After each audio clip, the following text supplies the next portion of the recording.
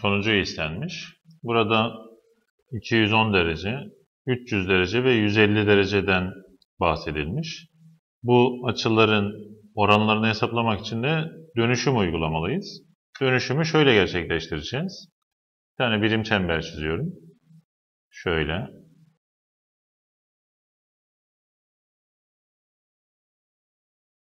Şimdi birim çemberimizde sınır açıları şunlar. Burası 0 derece, şurası 90 derece, burası 180, şurası 270, burası da 360 derece. Eğer biz dönüştürme işlemini şu yatay eksen üzerinden gerçekleştirirsek, yani 0, 180 ya da 360 üzerinden, bizim oranlarımız değişmez. Ama dikey eksen üzerinden yani 90 derece veya 270 derece üzerinden bir dönüştürme yaparsak oranımız değişecek. Tabi işareti bölgeden bulacağız. Şöyle ifade edebiliriz. Birinci bölgede işaretler artı artı. ikinci bölgede eksi artı. Üçüncü bölgede eksi eksi. Dördüncü bölgede de artı eksi biçiminde olacak. Bunlardan birincisi kosinüsün, ikincisi de sinüsün işaretini verecek. Tanjant ve kotanjantın işareti de bu işaretlerin çarpımı olacak. Şimdi öncelikle şuradan başlayalım. 210 derece. Kosinüs 210. Şöyle alıyorum. Kosinüs 210. Şimdi 210, 180 derece ve 270 derece arasında kalacak. Şu ikisinin arasında. Biz ister 180 derece üzerinden, istersek de 270 derece üzerinden ifade edebiliriz. Kosinüs 210'u. Ben 180 derece üzerinden yazmak istiyorum. Şöyle yazarız. Kosinüs 180 artı 30 derece diyebiliriz. İkisinin toplamı 210 derece olacak. Şimdi bölgeden işaret bulacağız. 210 derecenin işareti 3. bölgede olduğu için 210 derece. Kosinüs de birincisi olduğu için işareti negatif. Yani yapacağımız işlemlerin sonucunu bulacağımız sonuç negatif olacak. Şimdi şuradaki 180 dereceyi kaldırırsak kosinüs yine kosinüs olarak kalır. Çünkü yatay eksen üzerinden dönüştürme yaparsak oranımız değişmiyor. Şöyle olacak. Eksi kosinüs 30. Şimdi 30 derecenin kosinüsünü bulacağız. Onun için bir tane dik üçgen çizmek istiyorum. Şöyle 30-60-90 üçgeni çizelim. 90 derece. Burası 30 derece. Şurası 60 derece. 30'un karşısı 1. Hipotenüs 2. 60'ın karşısı kök 3. 30 derecenin kosinüsü komşu dik kenar bölü hipotenüs olacak. 30 buradan. Komşusu kök 3. Hipotenüsü 2.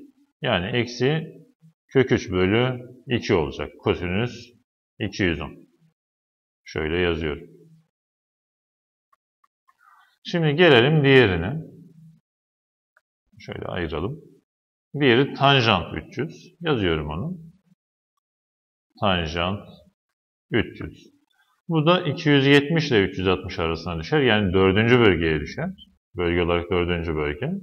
Biz ister 270, istersek 360 üzerinden yazabiliriz. 270 üzerinden yazarsak tanjant 270 artı 30 olur. 270 artı 30 300 derece olacak. Şimdi işaretini bulalım. Dördüncü bölgede kosinüsler artı, sinüsler eksi. Bu ikisinin bölümü eksi olur. Yani bizim tanjantımız eksi. Bu işaretlerin bölümü ya da çarpımı eksi işaret olarak aynı çıkar. Bizim tanjantımızın ve kotanjantımızın işaretini verir. Tanjantımız eksi oldu. Şunu çiziyorum. Bir kere sonucumuz eksi. Önüne eksiyi yazacağız. Eksi. Tabii 270 derece yani şu dikey eksen üzerinden gerçekleştirdiğimiz için dönüşüm bizim tanjantımız kotanjanta dönüşür. Kotanjant 30 olacak. Eşittir diyorum. 30 60 90 üçgeni buradaydı. Kotanjant yazacağız. Komşu dik kenar bölü hipotenüs. Yani kök 3 bölü 1. Eksi kök 3 bölü 1. Yani buradan eksi kök 3 olur. Tanjant 300'ümüz. Şunu da yazıyorum. Şimdi geriye kaldı 150 derecenin sinüsü. Onu da hesaplayalım. Şöyle ayırıyorum. Şimdi sinüs 150. Bu da ikinci bölgeye düşer. 90 ile 180 arasına düşer. Bunu 90 derece üzerinden ifade edebiliriz. Şöyle yazarız. Sinüs 90 artı 60. İkisinin toplamı 180 ediyor. Bölgesi ikinci bölge. Şu bölge. Sinüsler ikinci bileşen oluyordu. İkinci bileşen sinüs. Yani bizim sinüs 150'miz artı olur. Bunun sonucu artı. Yani işlem yaptıktan sonra sonucumuz pozitif çıkacak. 90'ı kaldırıyorum. Dikey eksen üzerinden bir dönüştürme gerçekleştirdiğimiz için bizim sinüsümüz kosinüse dönüşecek. Yani bunun sonucu işareti de artıydı ama buraya artı yazmaya gerek yok. Kosinüs, şöyle yanlış oldu. Kosinüs 60 olacak. Sonucu kosinüs 60 olacak. Şimdi 60 derecenin kosinüsü burası. Komşu dik bölü hipotenüs. Yani 1 bölü 2 olacak. Bizim sinüs 150'miz. Şimdi üçünü de bulduk. Artık ifademizde yerine yazıp yazıp sonucu bulabiliriz. Şöyle eşittir diyorum. Kosinüs 210 eksi kök 3 bölü 2 idi. Çarpı tanjant 300. Tanjant 300'ümüz de eksi kök 3'tü. Şöyle yazıyorum eksi kök 3 çarpacağımız için şöyle parantez alıyorum. Bölü. Şuraya 2 yazalım. Eksi sinüs 150.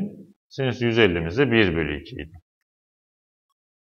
Şimdi ikisi de eksi çarpınca artı çıkacak. Kök 3 ile kök 3'ü çarparsak 3 gelir. Payımız 3 bölü 2. Payda da bir de 2 vardı. Şurada çıkarma işlemi yapıyoruz. Kısaca şöyle çapraz çarpıp çıkarabiliriz. 2 kere 2 4. 1 çıkarırsak 3. Yani 3 bölü 2. Şimdi birinciyi aynı şekilde yazıp ikinciyi ters çevirip çarparız. Birinci ifademiz 3 bölü 2. İkinci kesrimiz 3 bölü 2. Tabi bu ikisi aynı olduğu için aslında ters çevirip çarpmaya da gerek yok. Aynı sayıları birbirine böldüğümüz için bizim sonucumuz 1 çıkar. Yani bütün işlemin sonucu 1'dir.